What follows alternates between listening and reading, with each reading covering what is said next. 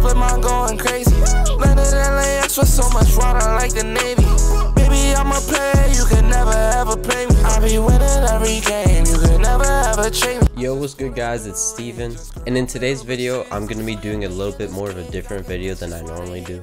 In today's video, I'm actually not going to be doing any sort of breakdown or tutorial, but instead, I'm going to be giving you guys a look on what it's been like to be in the music industry for just over a year now, and all the changes in my life that have come from it. And then after that, I'm going to give my best three tips to you guys, so you guys can replicate what I've done in just over a year. So backtrack just over a year ago, I had actually just joined Splitmind, and after Half brought me on, I was just trying to get the grasp of everything.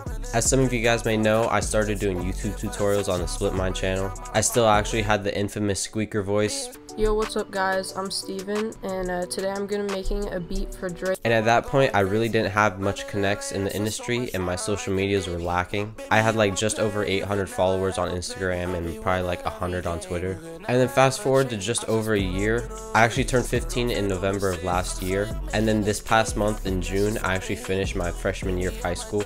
I actually got a bunch of fire records out currently. Just to name some of them, Go to Hell by Jay Critch. I actually did that with Ronnie J and. I actually just produced on Eladio Carrion's new tape. I produced a song called Meet Us. And then I also have a Shorty Shorty snippet going viral on TikTok right now. And then lastly, a bunch of crazy unreleased records that I hope to drop in the next year. And then other than that, I've been in the studio with people like Trevor Daniel, Warhol, Cousin Stiz, a bunch of super fire producers. And then as of right now, I'm actually making a good amount of money from my Drumify kits. So as always, I really appreciate anyone that supports me or buys my kits. I'm also going to be in LA majority of the summer at the Splitmind house with half and the rest of the guys. Another super cool thing that happened to me pretty recently was I actually got the cosign from the man himself, Wheezy. So for those of you who follow me on my Instagram, which if you don't, be sure to, you probably saw that I just dropped my recent sample library, the extraterrestrial sample library. And shortly after I dropped that kit, I was actually on the phone with my good friend Pilgrim, and uh, I got the notification that Wheezy commented on my post and liked it. After that, the phone started blowing up. I got a bunch of texts and calls about it. So yeah, definitely a super cool moment to get recognition from someone like Wheezy. And then as I've said before, I really appreciate anyone that supports me at all. I really wouldn't be able to do any of this without you guys.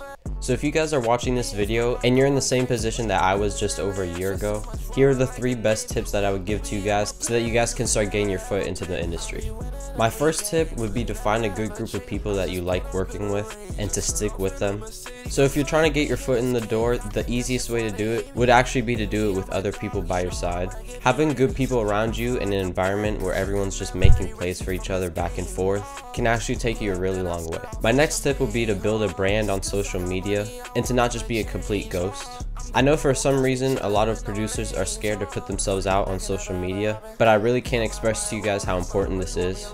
Stuff like updating your fans on what you're up to and what you're doing, and then also just dropping sound kits, doing live streams, working with your followers, all that can make a really big difference on your reputation in the industry. And then my last tip that I would give to you guys is to not worry about placements or comparing yourself to other people that might be getting more placements than you are. So when I say that, what I really mean by it is that if you don't have any released or unreleased records right now, I would say really just don't even stress about it. Because at the end of the day, everyone has a different timeline for this stuff. And there's always a chance that you probably have a bunch of songs that you don't even really know about. So I would really just say focus on making music and building your brand along with other people at your level. And then the placements will eventually come. So that's pretty much it for the video. Hopefully you guys took a little bit of inspiration from my recap of the last year. And then hopefully you guys also learned a thing or two from me sharing some of the tips and advice that I've been given. If you guys want to support me and the team, be sure to leave a like and subscribe on this video. Also be sure to follow my social media.